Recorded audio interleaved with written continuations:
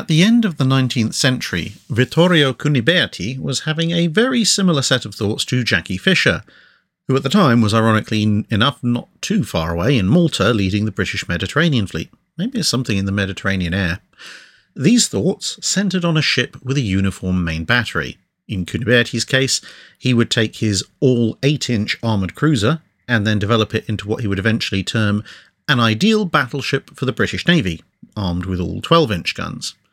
Fisher's thoughts would go from a similar 7.5 inch armed cruiser to a 10 inch armed battleship, then merge with Cuniberti's and produce HMS Dreadnought in the end of thing, things.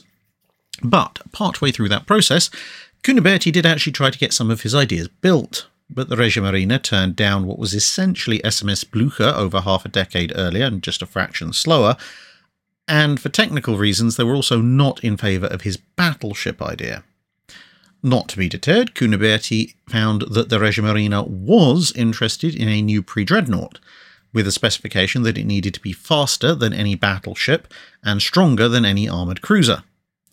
At the time of this requirement, 1900, that would mean that the London or Duncan classes were the classes in question for the British, and the Suffren and Iéna were the classes in question for the French. This, in turn, meant that the speed of the new ship would have to be usefully faster than 19 knots, and the armament would need to be at least two very heavy guns and numerous lighter weapons in order to deal with armoured cruisers. Cuniberti rapidly got to work merging his other two ideas, and in 1901, the first two ships of his proposed new design went into production. These would become the Regina Elena class, with the lead ship, along with the Vittorio Emanuele, being laid down in that year, 1901, with the Roma and Napoli following in 1903, with the class averaging about three years from keel to launch and another two and a half to three years to commissioning, although that latter time period did vary considerably depending on the ship. For a target displacement of 13,000 tons, they actually displaced around 12,600 tons at normal displacement, and albeit 14,000 tons fully loaded. Uh, power came from over two dozen coal fired boilers, which produced between 19 and 22,000 indicated horsepower, depending on the ship and the circumstances, and this drove two screws via a pair of vertical triple expansion engines for a top speed of just over 22 knots for the fastest ship of the class. This actually made them a knots faster than HMS Dreadnought, which had started construction about four years after the Regina Elena, but entered service a year before it. But as with all period vertical triple expansion driven ships, they could only maintain this speed in relatively short bursts.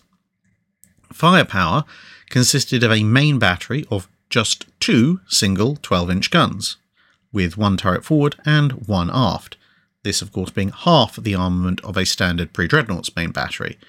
But the secondary battery was no less than a dozen 8 inch guns in six twin turrets, three per side, with the second turret on each side mounted higher, which allowed them to give a 6 gun broadside with the 8 inch guns, but an 8 gun fore or aft salvo with these weapons.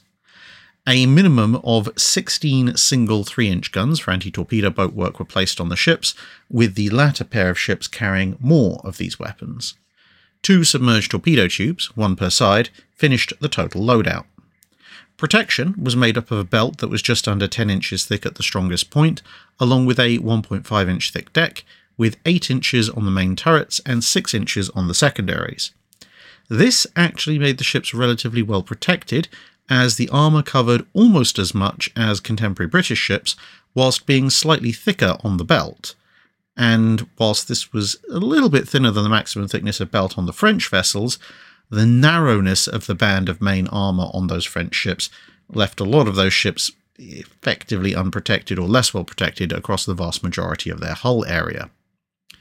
For all their superlative qualities, the Regina Elenas were so slow in building that by the time they entered service, almost all the major navies had built one or maybe even two generations of pre dreadnoughts that succeeded them, and were either building or had built their first and sometimes even second classes of dreadnought.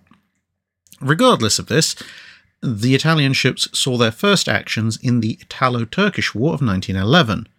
The Ottoman fleet, such as it was at the time, didn't dare to come out to face them, and so the ships were left to escort Italian troops around the Mediterranean as they hoovered up various Ottoman possessions.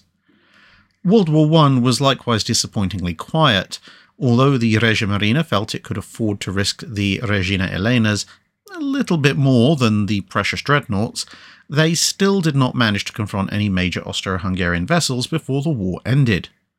With only five dreadnoughts left in service by the time of the Washington Naval Treaty, thanks to Leonardo da Vinci deciding to explode in harbour in 1916, the four pre dreadnoughts were permitted to be retained by that treaty, with an early replacement clause built in, but various economic issues in Italy during the 1920s meant that all four ships would be sold for scrap in the middle of the decade without any immediate replacements being ordered.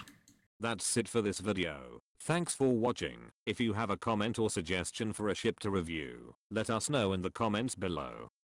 Don't forget to comment on the pinned post for dry dock questions.